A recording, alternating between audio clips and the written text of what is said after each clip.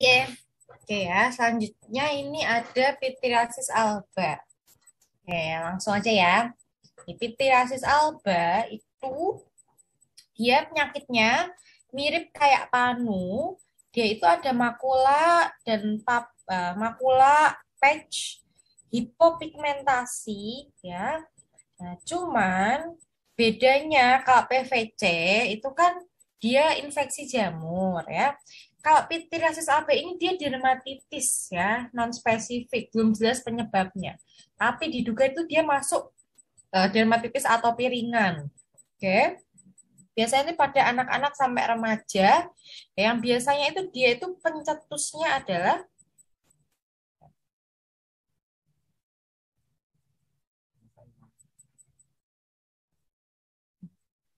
yang dicetuskan oleh karena sinar matahari.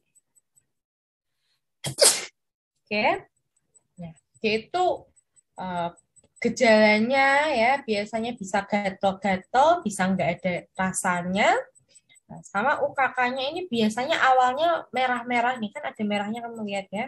Merah kan iritasi itu. Nah lama-lama dia itu uh, seperti muncul hipopigmentasi pasca inflamasi gitu ya. Jadi muncul putih-putih kayak gini. Nah dia bisa lama-lama hilang sendiri, self limiting. Oke, ya.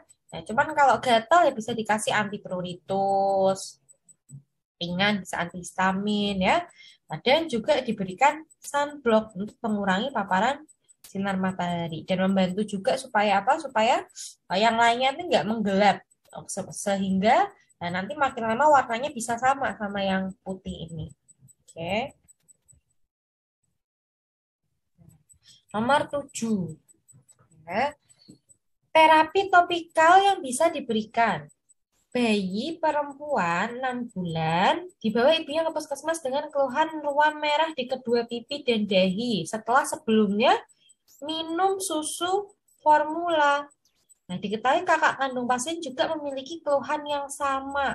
Nah, ibu pasien punya asma dan rinitis. Nah, oke, okay. jelas ya di sini ya. Ada satu susu formula, ada alergen. Oke. Okay. Nah, dia ada UKK-nya.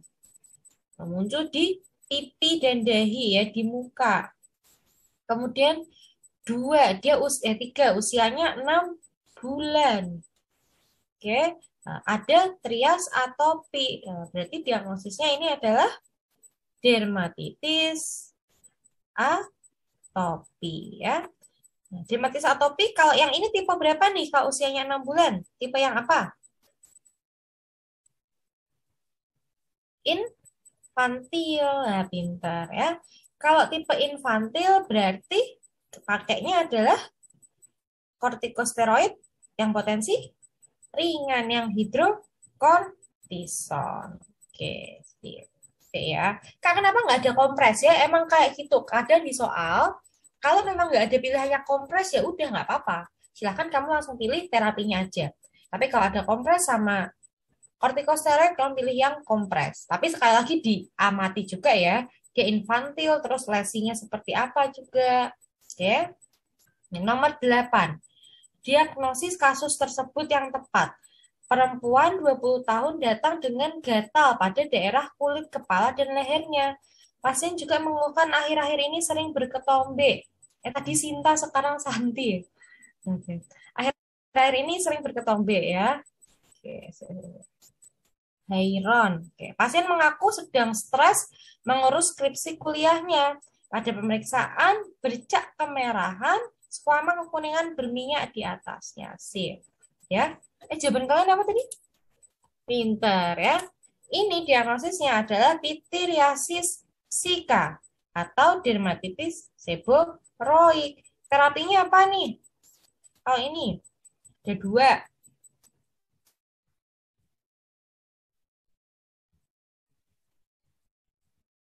Satu, oke, kortikosteroid topikal.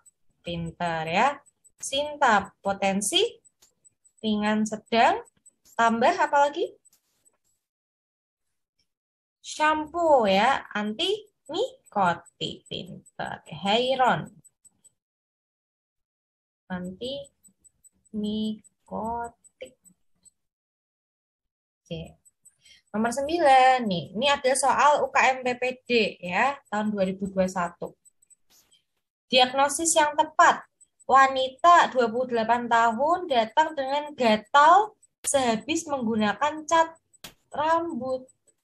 Gatal dirasakan sekitar kepala, leher, dan dahi. Pada pemeriksaan dermatologis ditemukan di kulit kepala, dahi, sampai leher belakang terdapat eritema, erosi, dan ekskoriasi. Jadi dia bisa pakai cat rambut, gatal letaknya di daerah sini. Oke. Lesinya ya biasa merah, erosi, ekskoriasi. Ya, pasti dia bisa semua. Pintar ya. Betul, jawabannya adalah DKA ya alergi karena zatnya cat rambut. Oke. Oke, sekarang kita masuk ke investasi parasit ya. Nah, gampang ini ada tiga. Yang pertama skabies. Etiologi, ada Sarcoptes scabiei varian hominis. Oke, si Sarcoptes scabiei ini dia sukanya menerang daerah lipatan-lipatan dan kulit-kulit tipis. Nah, misalnya daerah uh, mana nih kaki bagian belakang, kemudian daerah mana namanya lutut, ketiak, ya. Kemudian terutama sela-sela jari sini. Nah, sering banget. Biasanya kalau di kaki itu juga di sela-sela jari gini nih, sekitar sini. Oke. Nah, skabies itu dia punya trias ya. Pertama adalah lesi kulit khas. Lesi kulit khas skabies itu adalah lesi terowongan karena si skabies itu suka menggali terowongan ya di epidermisnya.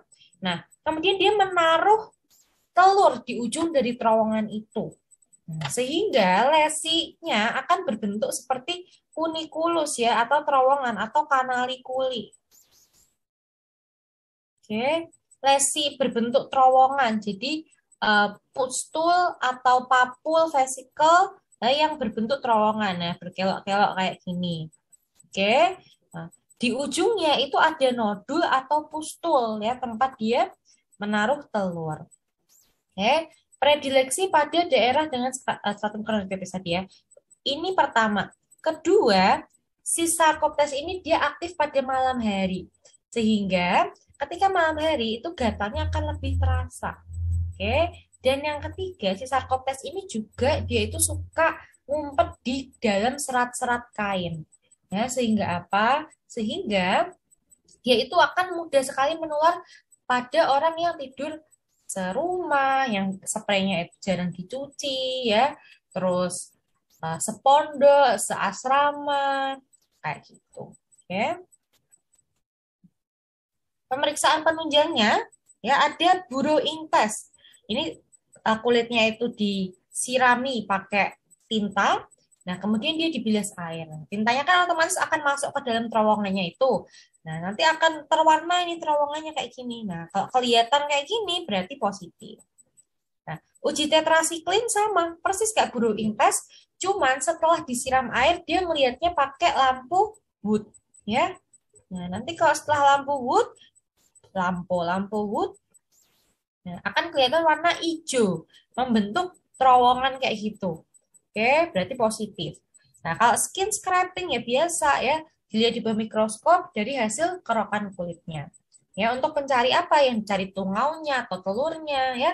Sama dermoskopi ini kita lihat pakai loop mic apa pakai kaca pembesar loh. Nah, dilihat dicari tungaunya atau telurnya. Oke, tata laksana ya. Tata laksana untuk skabies itu satu ada medika mentosa dan non medikamentosa ya. Jadi yang non medikamentosa dulu. Nah, ini soalnya juga sering ditanyakan nih. Ya, skabies yang non medikamentosa. Nah, jadi si skabies itu satu ya. Selain obati pasien, obati uh, keluarga atau teman serumah pasien.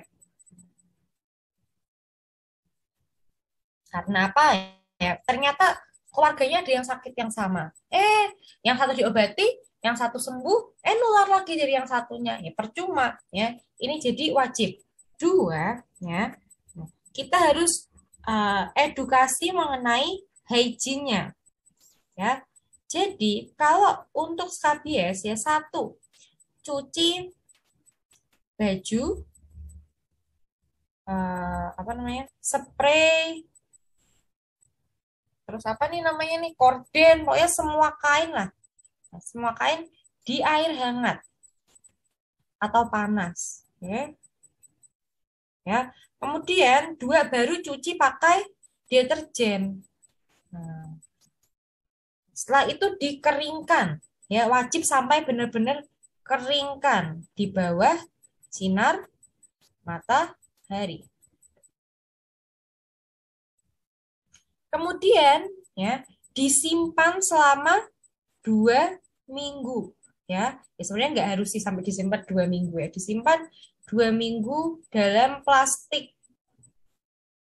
Ini kalau secara teori gini ya, karena apa? Karena parasitnya itu kalau dia tidak hidup di kulit ya, dia hanya dispray. Kalau didiamkan selama dua minggu, tapi dia akan mati sendiri. Gitu. Ya.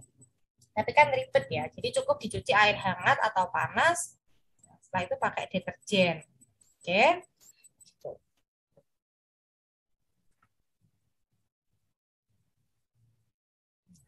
Kemudian untuk medikamentosanya. Nah, yang lini utamanya itu adalah permentrin 5% krim. Oke. Cara pakainya dioleskan selama 8 jam. Jadi saat mau tidur, nah kemudian dibilas saat dia bangun. Oke diulang lagi satu minggu kemudian apabila belum sembuh. Oke, cara pakainya ini sama seperti Gamexan atau Lindan, 1% krim. Ya. Persis cara pakainya. Diulangnya pun juga sama. Cuman mereka ini kontraindikasi untuk anak kecil nih. Kalau permenter dia nggak boleh pada anak yang kecil banget, kurang dari dua bulan. Ya, kalau gameksan dia tidak boleh pada anak kurang dari enam tahun atau ibu hamil. Karena apa? Karena dia ada efek neurotoksik dan teratogenik. Nah, kalau yang boleh untuk anak kecil apa? Boleh dikasih sulfur precipitatum 5 sampai 10 persen. Kamu tahu salep 24? Salep 24 itu sering ya, nah, skabies dikasih salep 24. Nah, isinya apa sih? Dua itu adalah asam salisilat 2%. Empat itu ada sulfur precipitatum 4%. Oke. Nah, padahal eh, menurut penelitian yang efektif untuk membunuh uh, tungau sampai tuntas itu ada 5 sampai 10 persen konsentrasinya. Jadi sebenarnya 124 ya itu kurang efektif ya kalau disesuaikan sama teori ya. Kadang kan teori sama praktek beda. Nah, jadi kadang tuh ada nih soal uh, satu salep dua empat dua permentrin ya. Kau pilih permentrin soalnya salep dua empat itu tidak uh, bukan nggak sesuai sama panduannya ini sama guideline-nya. Oke. Nah, kalau emulsi benzil benzoas konsentrasinya 10 sampai 20 persen ya. Nomor 2 dan 3 ini cara pakainya didiamkan selama seharian. Jadi malam mau tidur dioles, ya, eh sorry sorry. Jadi pagi habis kok pagi mandi. Ya. Oh iya, pagi habis mandi dioles, didiamkan selama seharian, ya. Tidur dibawa tidur, besok paginya dia mandi dioles lagi, ya. Didiamkan selama seharian lagi, besok pagi dioles lagi. Jadi berturut-turut selama tiga hari tiga malam. Oke, nah diulang lagi seminggu kemudian. Misal ya, dia itu kan hari kan ada Senin, Selasa, yang ini. Senin, Selasa, Rabu, Kamis, Jumat, Sabtu, Minggu. Ya kan? Berarti kalau sulfur dan emulsi benzobenzoas ini dia dipakai di hari 1, 2, 3. Kalau udah sembuh, ya sudah nggak usah diulang. Tapi kalau masih ya Nah, diulang lagi di tanggal 8, 9, dan 10. Oke. Jadi kalau untuk kasus anak di bawah bulan dikasihnya sulfur precipitatum atau emulsi benzil benzoas. Oke. Ya, Santi dikasihnya nomor 2 atau 3. Oke. Okay. Oke. Okay.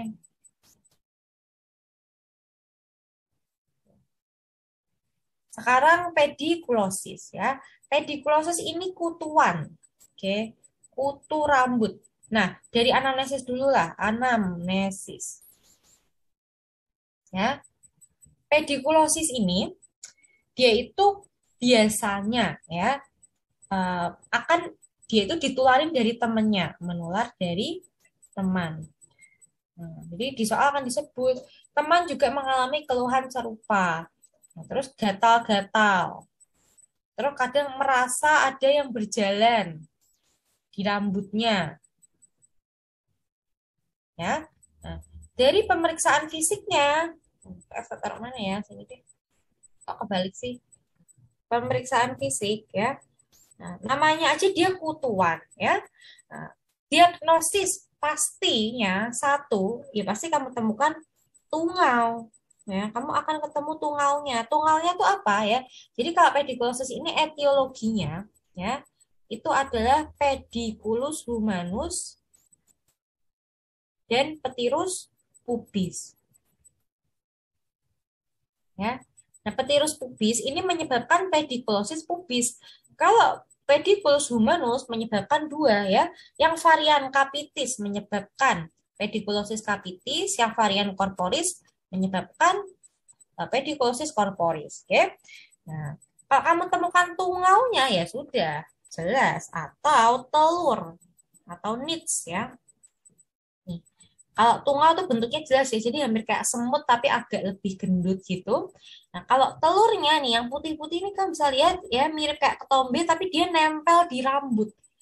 Oke, warnanya putih atau abu-abu atau silver. Itu namanya adalah snitch. Ketiga, kamu bisa menemukan UKK ya, bekas dari gigitan si tungau ya. Jadi tungau eh, si pedikulus ini dia itu kalau membentuk kan menggigit itu kan pasti keluar darah ya kan. Nah darahnya ini biasanya mengering. Nah darah yang kering itu akan membentuk spot-spot yang warnanya itu uh, biru keabu-abuan ya. Nih kayak gini ini namanya adalah sky blue spot. Ya. Oke, sky blue spot ini ditemukan di daerah yang tidak ada rambutnya. Di daerah yang ada rambutnya, ya, misalnya daerah pubis, kulit kepala, ya, itu namanya adalah makula serule. Tapi basically dia itu ya sama. Sebenarnya adalah bekas dari darah yang mengering. Oke, nah kalau black dot ini adalah darah yang mengering tapi bukan di kulit, tapi di pakaian dalam. Karena kan digigit. Keluar darah, darah yang di pakaian dalam, jadi mengering dan menghitam. Makanya namanya black dot. Berarti kalau black dot ini khusus pada pedikulosis pubis. Oke. Nah, si petirus pubis ini ya dan pedikulosis eh, pediculus humanus yang varian corporis itu dia hidupnya di sela-sela kain. Oke, sedangkan kalau yang kapitis ya itu hidupnya di rambut. Oke, sehingga terapi non medikamentosa ya kalau untuk yang kapitis bisa digunakan sisir serit Nih saat rambut basah disisir supaya tungaunya, telurnya tuh nyangkut. Ya. Kalau untuk yang uh, pubis dan korporis ya, selain dengan medikamentosa, bajunya, pakaian dalamnya juga harus diedukasi untuk dicuci bersih. Dan jangan-jangan kan nggak pernah dicuci. Nah itu ya. Nah kemudian untuk medikamentosanya, first line-nya adalah permentrin sama kayak skabies. Cuman bedanya dia itu satu persen. Oke. Dan sedianya kalau nggak krim Losio. Ya, mereknya itu Peditox tuh yang paling terkenal. Oke. Nah, dia diaplikasikan selama 2 jam.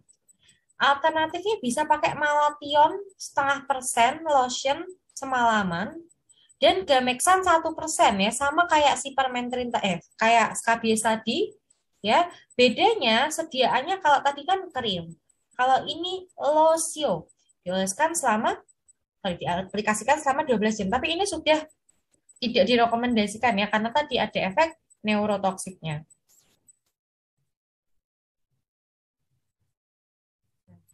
Kemudian sekarang CLM atau cutaneous larva migran ya. Namanya creeping eruption sesuai namanya. Cutaneous kulit larva ya larva migrans bergerak. Nah, penyakit kulit yang disebabkan karena adanya larva yang bergerak di bawah kulit. Serem ya. Nah, larvanya itu larva apa? Larva dari cacing tambang, Ankylostoma brasiliensis dan canino. Mereka ini adalah non-human hookworm. Oke, jadi kalau non-human hookworm tuh dia tidak bisa berubah jadi cacing dewasa di tubuh manusia. Ya, jadi dia hanya bertahan di fase larva. Makanya larvanya tuh ya udah hanya bergerak-gerak di dalam bawah kulit ini. Oke. Nah, UKK-nya berupa apa ya? UKK-nya nih, pot eritematosa yang bentuknya itu seperti larva, serpiginosa, liniar, vesikular, ya. Nah, dari anamnesis faktor resikonya ya biasanya itu yang pekerjaan yang berkaitan dengan tanah ya, petani, bajak sawah. Nah, petani bajak sawah itu biasanya di kaki. Ada lagi montir ya. Montir itu biasanya di mana? Montir itu kan dia tidurin di tanah ya terus dia benerin mobil kan nah biasa tuh di punggung kalau mortir. Sama anak-anak ya anak-anak tuh biasa di daerah pantat kan dia sering duduk di tanah kan? Kayak gitu ya.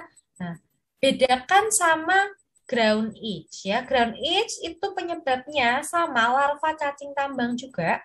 Nih Ankylostoma duodenale dan Necator americanus. Tapi mereka ini adalah human hookworm Nah, si human hookworm ini dia memiliki enzim yang bisa menyembus lapisan bawah kulit sehingga dia bisa masuk ke usus.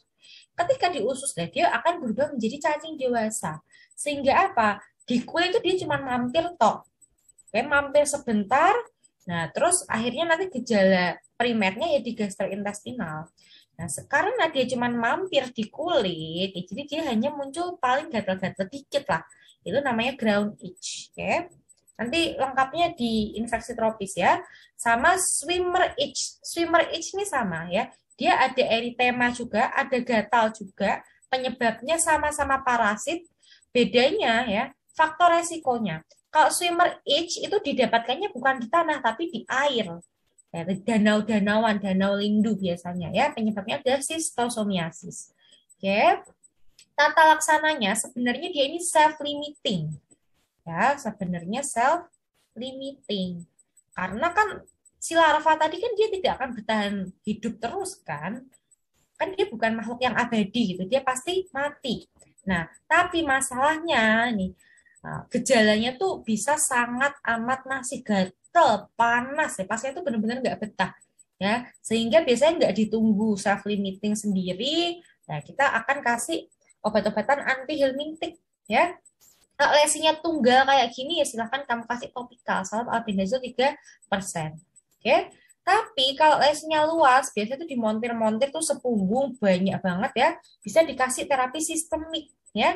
Albendazole 400 mg 3 sampai 7 hari, tiabendazole 50 per kilogram berat badan per hari atau ivermectin. Ya.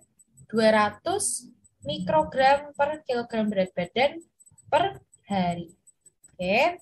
Nah, tapi kalau pada ibu hamil kita nggak bisa kasih anti helmintic ya karena ditakutkan dia bisa menembus blood brain barrier eh kok uh, barrier placenta ya jadi uh, digunakan terapi yang non farmakologi ya jadi operatif oke okay?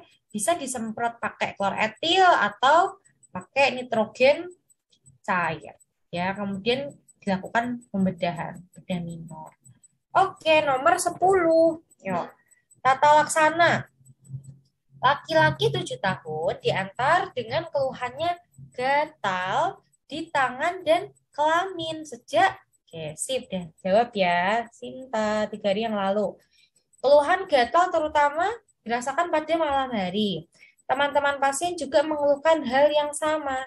Pada pemeriksaan lokalis, didapatkan ada terowongan dengan ujung vesikel atau papul. Oke, pemeriksaan uh, burung burrow intes uh, didapatkan garis berwarna kehitaman. Oke, berarti positif ya.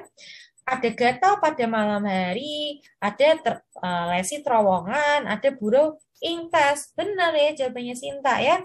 Berarti dia diagnosisnya adalah skabies. Kalau skabies, terapinya adalah permethrin 5%. Oke, nomor 11 ya. Terapi farmakologis yang tepat. Laki-laki 7 tahun dibawa ke puskesmas dengan bercak merah